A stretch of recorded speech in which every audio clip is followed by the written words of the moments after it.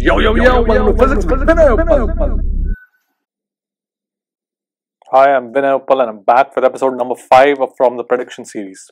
So this question is about a rising dust particle. Let's read the question first. Consider a spherical dust particle resting on the ground. There is an air flow across the dust as shown in the figure. So here I have the dust particle and there is some air flowing across the dust particle. In addition to the buoyant force, the dust particle experiences a lift force in the vertical direction due to the change in the direction of momentum of airflow around the dust. So, the question is saying that the air is not only applying a buoyant force but also something that is called the lift force because of the momentum change. The momentum was initially directed upwards at an angle and now it's directed downwards. So, there is some momentum change and because of that uh, there is a lift force in the vertical direction. It can be assumed that the lift force depends only on the size of the dust, density of air and the speed of the airflow. So, size of the dust would mean the radius of the dust, density of the air and the speed of the airflow. So, the speed of the airflow can be assumed to be constant across the dust particle due to negligible velocity. So, there is no change in the speed so there are three quantities that the lift force depends on. So what is the question asking? For a dust particle of density 10 times that of air, the minimum speed of airflow to lift the dust particle is V1. Similarly, the corresponding speed is V2 for a dust particle of the same radius but having 5 times the density of air and we want to compute the ratio of V1 to V2.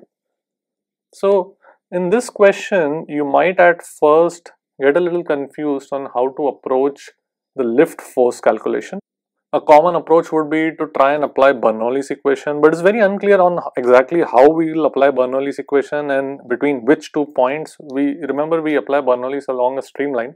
So this question is actually uh, an example of a very powerful usage of dimensional analysis. The lift force depends on the three quantities given in the question that should strike a bell in your mind that perhaps this question is related to dimensional analysis. Perhaps we can write an expression for the lift force using dimensional analysis. Let's have a look.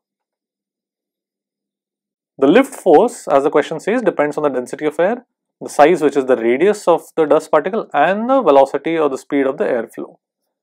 Now, I can do a dimensional analysis and I can find the dependence of the force on these quantities, but before that, if you've encountered the thrust force in this example in fluids chapter, like suppose you have a hole and there is some speed of fluid coming out, the thrust force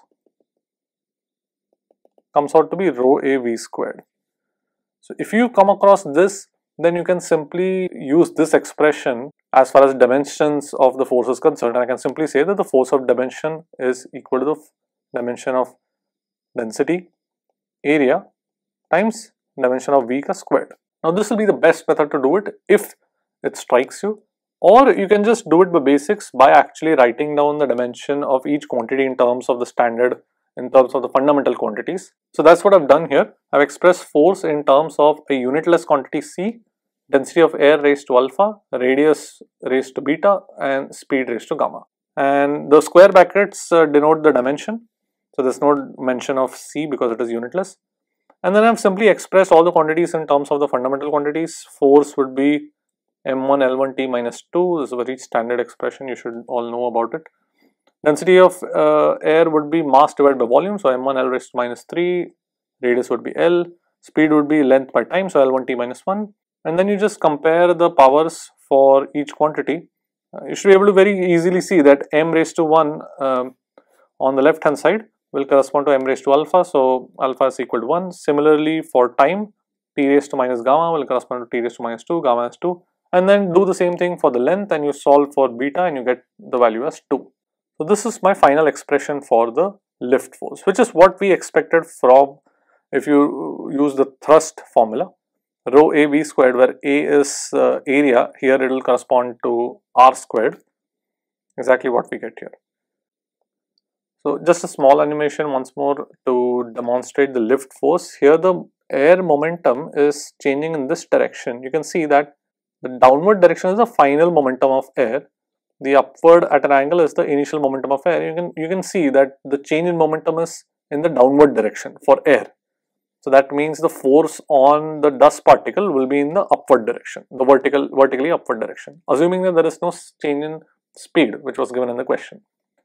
All right so now let's look at the FBD of the dust particle. So I have the usual gravity for the dust particle, I have the buoyant force by air. And in addition to those two, I have the lift force which I just calculated. And this is the force equation to just lift the dust particle. We are going to assume zero acceleration. And just substitute the lift force that we calculated on the previous slide. The buoyant force is simply uh, density of air times the volume times g and mass into g would be density of the dust particle times volume into g and this uh, this expression is what you get for the speed of the airflow to lift the dust particle. Now what is a crucial factor here is the one in the bracket density of the dust particle divided by density of air minus 1. Everything else is same for both the cases in the question. Remember the question had a dust particle of density 10 times that of air and the second case was a dust particle of the same radius but density is 5 times that of air. And now it's just a case of substituting the respective densities. In the first case, it's 10 times, and this ratio is 10. Second case, this ratio is 5, and let's take the ratio of the speeds, and you'll get the answer as 1.5. So this question is a very useful example in how powerful dimensional analysis is when you're analyzing some phenomena about which the physics is relatively unknown. So hope you've enjoyed this question. That's it for today. See you guys. Good night.